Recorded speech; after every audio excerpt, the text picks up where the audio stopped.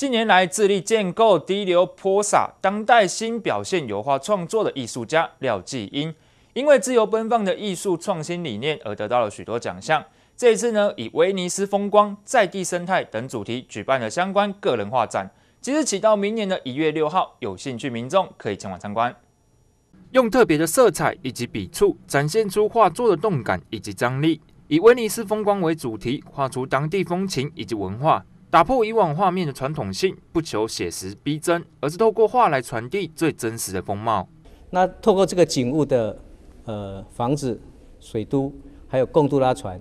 那贡杜拉船我画了两头，还有三三三艘。那这个本来是一个系列，那我把它拆成两个。那合并起来的话，它有一种异曲同工之妙。我本来就是计划把它变成一个大水都的大场域。那场域的这个绘画是我比较喜欢的，因为整体氛围的呈现能够带给观者很大的回响。廖金一投入画作时间长达三十年之久，也参与过不少国内国外的个人特展以及大型的艺术展览。凡事都以掌握艺术的整体氛围作为优先的考量来创作，追求实与值。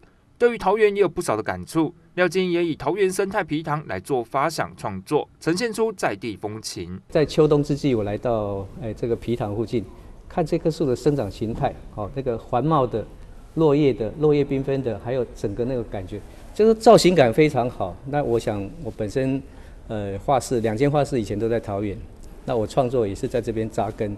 那这也就是说，我们要把地方特色，呃本土的感觉哈。把它体现出来。这次特产从即日起到明年的一月六号，就在文化局展览室举办。有兴趣一睹当代新表现油画创作艺术家所创作的作品，可前往参观。